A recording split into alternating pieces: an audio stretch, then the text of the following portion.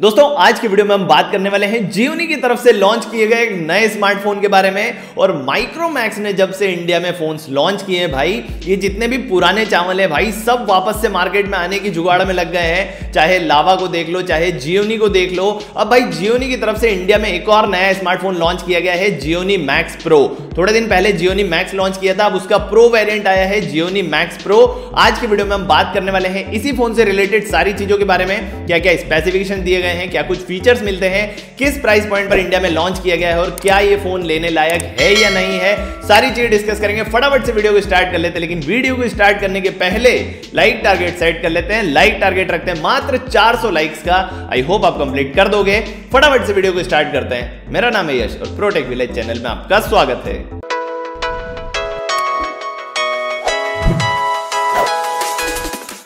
Start करते भाई बातचीत को। और सबसे पहले बात करते हैं हमेशा की तरह फ़ोन के बिल्ड क्वालिटी एंड डिज़ाइन के बारे में। बिल्ड क्वालिटी से आप क्या एक्सपेक्ट करते हो भाई? प्राइस पॉइंट इस फ़ोन का जो रखा गया है, उस हिसाब से प्लास्टिक बिल्ड ही मिलना है प्लास्टिक बिल्ड ही दी गई है। प्लास्टिक का बैक है प्लास्टिक की फ्रेम है फ्रंट में आपको ग्लास प्रोटेक्शन मिलता है। कौन से ग्लास का प्रोटेक्शन मिलता है, ये चीज़ नहीं बताई गई है। बिल्ड क्वालिटी यहाँ पर आपको ठीक ठाक मिल जाती है। और डिज़ाइन की अगर बात करें तो वही टॉप लेफ़्ट में आपको स्क्वायर शेप में कैमरा सेटअप मिलता है, जहाँ पर दो कैमरास की हाउसिंग है। साथ ही में पीछे जियोनी की ब्रांडिंग मिल जाती है। फ्रंट में अगर बात करें तो वाटर ड्रॉप नॉच के साथ में आता है। हल्की सी यहाँ पर आपको चेन मिलती है। ठीक ठाक साइज़ की चेन है। वैसे भाई दिखने में फ़ोन अच्छा लग रहा है और बिल्ड क्वालिटी भी यहाँ पर आपको ठीक ठाक मिल जाती है।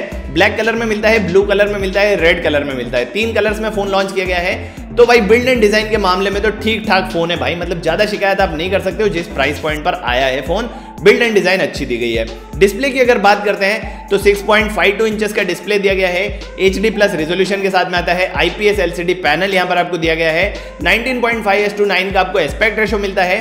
264 ppi के आसपास पिक्सल डेंसिटी मिलती है 60 हर्ट्ज का यहाँ पर आपको रिफ्रेश रेट मिलता है। अब इस प्राइस पॉइंट पर भाई आपको HD प्लस डिस्प्ले ही मिलता है। यहाँ पर भी HD प्लस डिस्प्ले दिया गया है। कोई दिक्कत नहीं है भाई डिस्प्ले से भी डिस्प्ले भी यहाँ पर प्राइस पॉइंट के हिसाब से अच्छा दिया गया है। आगे चल के बात करते हैं परफॉर्मेंस के बारे में, क्योंकि सबसे बड़ा कंसर्न जो रहता है जियोनी के फ़ोन के साथ में लावा के फ़ोन के साथ में, कि यहाँ पर चिपसेट कौन सा दिया गया है? इस फ़ोन के अंदर आपको मिलता है यूनिसोक की तरफ़ से आने वाला S C nine eight six three A chipset ये चिपसेट पहले भी आया है लावा के फोन्स में भी हमको मिला है जियोनी के फ़ोन में भी शायद यही वाला चिपसेट था। अब चिपसेट की अगर बात कर लेना भाई तो 28 नैनोमीटर पर बना हुआ है। अब मैं क्या बोलूँ भाई, यहाँ पर जब 5 नैनोमीटर के चिपसेट यहाँ पर लॉन्च ऑलरेडी हो चुके हैं, यहाँ पर जियोनी की तरफ़ से हमको 28 नैनोमीटर का चिपसेट दिया गया है। चिपसेट में भाई ये कंपनी मात खा जाती है अदरवाइज़ फ़ोन के स्पेसिफिकेशंस अभी तक तो अच्छे लग रहे हैं। बस चिपसेट जो है वो बहुत ज़्यादा आउटडेटेड चिपसेट दिया गया है। परफॉर्मेंस आपको भाई बहुत ज़्यादा अच्छी यहाँ पर नहीं मिलने वाली है। अगर रॉ परफॉर्मेंस की बात कर लें सीपीयू परफॉर्मेंस की तो यहाँ पर आपको 1.6 गीगाहर्ट्ज की पीक क्लॉक स्पीड मिलती है भाई। ऑक्टागोर प्रोसेसर है। चार कोर A55 वाले 1.6 गीगाहर्ट्ज पर और चार कोर मिलते हैं आपको 1.2 गीगाहर्ट्ज पर। अब बताओ भाई सीपीयू की परफॉर्मेंस आपको कैसी मिलने वाली है? तो आपको ठीक ठाक परफॉर्मेंस मिल जाएगी। डे टू डे की परफॉर्मेंस तो आप अच्छे से निकाल लोगे। गेमिंग की अगर बात करते तो सोचना भी मत भाई कि यहाँ पर आपको गेमिंग करनी है। थोड़ी बहुत देर सबवे सर्फर खेल लो कैंडी क्रश खेल लो, ये गेम खेल पाओगे, लेकिन जो हाई एंड गेम्स है भाई वो गेम्स आप इसके अंदर नहीं खेल सकते हो। I M G power V R G E eight three double two GPU यहाँ पर आपको दिया गया है, जो कि डिसेंट गेमिंग परफॉर्मेंस दे सकता है अगर चिपसेट अच्छा होता है इसके साथ में। यहाँ पर जो सीपीयू परफॉर्मेंस है और अगर जीपीयू परफॉर्मेंस को साथ में देखा जाए तो आपको परफॉर्मेंस बहुत ज़्यादा अच्छी नहीं मिलने वाली है। तो परफॉर्मेंस से एक्सपेक्टेशन इस फ़ोन से आपको नहीं रखना है। एलपीडीडीआर फोर रैम यहाँ पर आपको मिलेगी ई एम एम वाला स्टोरेज मिलेगा। अब ये जो फ़ोन है भाई परफॉर्मेंस के मामले में मेरे हिसाब से बिलो एवरेज परफॉर्मेंस आपको देने वाला है प्राइस पॉइंट के हिसाब से। आगे चलते हैं कैमरास की बात करते हैं। डुअल कैमरा सेटअप पीछे की तरफ़ दिया गया है। तेरह मेगापिक्सल का प्राइमरी कैमरा है, दो मेगापिक्सल का डेप्थ सेंसर दिया गया है।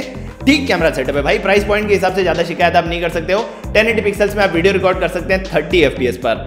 फ्रंट कैमरा की अगर बात करें तो फ्रंट कैमरा भी अच्छा दिया गया है 8 मेगापिक्सल का। और 8 मेगापिक्सल के सेल्फी कैमरा से आप 1080 पिक्सल्स में वीडियो रिकॉर्ड कर सकते हैं 30 एफपीएस पर। तो भाई कैमरा सेटअप मेरे हिसाब से प्राइस पॉइंट को देखते हुए अच्छा दिया गया है। कैमरा से भी आप ज़्यादा शिकायत नहीं कर सकते हो। बैटरी की अगर बात करते ना भाई 6000 हज़ार का बड़ा बैटरा यहाँ पर दिया है जियोनी की तरफ़ से। बैटरी में भी अच्छा काम किया गया है। 10 वॉट की चार्जिंग को फ़ोन सपोर्ट करता है। 10 वॉट का चार्जर आपको बॉक्स के अंदर मिलेगा। बैटरी मॉड्यूल भी यहाँ पर आपको अच्छा दिया गया है। माइक्रो यूएसबी वाला बोर्ड मिलता है। अब भाई अगर जियोनी है और लावा है इन कंपनी को अगर स्टेप अप करना है भाई तो छोटी छोटी चीज़ों पर ध्यान देना पड़ेगा। माइक्रो यूएसबी के बजाय अगर यहाँ पर आपको टाइप सी वाला पोर्ट दे, दे दिया जाता तो एक हाईलाइटिंग फीचर हो जाता भाई कि टाइप सी पोर्ट दिया गया है इस प्राइस पॉइंट पर। मतलब छोटी छोटी चीज़ों को किया जा सकता है। यहाँ पर आपको टाइप सी पोर्ट नहीं मिलता है। यहाँ पर आपको माइक्रो यूएसबी वाला पोर्ट दिया गया है। 3.5 एम खड्डा दिया गया है भाई। इस फ़ोन में से गायब करेंगे तो फिर दुनिया कहाँ जाएगी? Three point five M M Jack यहाँ पर आपको मिल जाता है। फिंगरप्रिंट स्कैनर आपको इस फ़ोन के अंदर नहीं मिलता है। ये एक छोटा सा ड्रॉबैक है इस फ़ोन का। फ़िज़िकल फिंगरप्रिंट स्कैनर नहीं मिलता है। फेस अनलॉक का ऑप्शन यहाँ पर आपको मिल जाता है। एंड्रॉइड टेन के ऊपर आपको फ़ोन मिलेगा। शायद स्टॉक एंड्रॉइड मिलेगा या हो सकता है भाई ब्लोटवेयर्स मिले इसके अंदर। क्योंकि जियोनी का फ़ोन पर्सनली मेरे को यूज़ किया बहुत ज़्यादा टाइम हो गया है तो अब पता नहीं उसमें क्या आने वाला है। ब्लोटवेयर्स आई थिंक आ सकते हैं। अब वो तो भाई जब अपन हाथ में लेंगे तब पता पड़ेगा, लेकिन एंड्रॉइड टेन के ऊपर आपको मिलने वाला है। उसी के अलावा अगर बात करें डेडिकेटेड माइक्रो एसडी का स्लॉट यहाँ पर आपको मिल जाएगा। मतलब आप मेमोरी कार्ड घुसड़ सकते हैं। आपका जो स्टडी मटीरियल है, जो work from home work from home नहीं होमवर्क जो है, वो आप करते हैं। देखते हैं, करते तो होंगे नहीं आप, देखते ही होंगे तो उसको देख सकते हो भाई, कोई दिक्कत नहीं आने वाली है।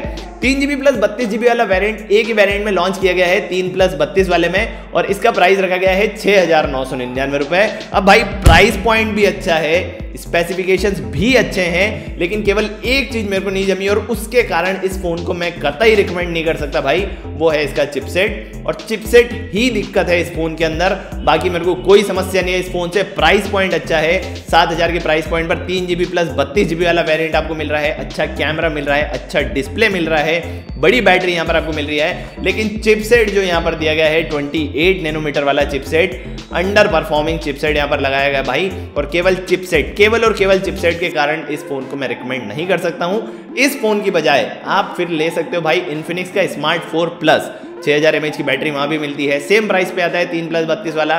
वहाँ पर आपको ए ट्वेंटी फाइव का चिपसेट मिलता है और साथ ही में वहाँ पर आपको फिंगरप्रिंट स्कैनर भी मिल जाता है। तो इसकी बजाय वो थोड़ा सा बेटर ऑप्शन हो सकता है। यहाँ पर अगर केवल जियो ने इतना करे कि मीडिया टेक का Helio G twenty five chipset अगर यहाँ डाल देता ना भाई, इस फ़ोन को मैं अपने रिकमेंडेशन की लिस्ट में टॉप पे रखता भाई।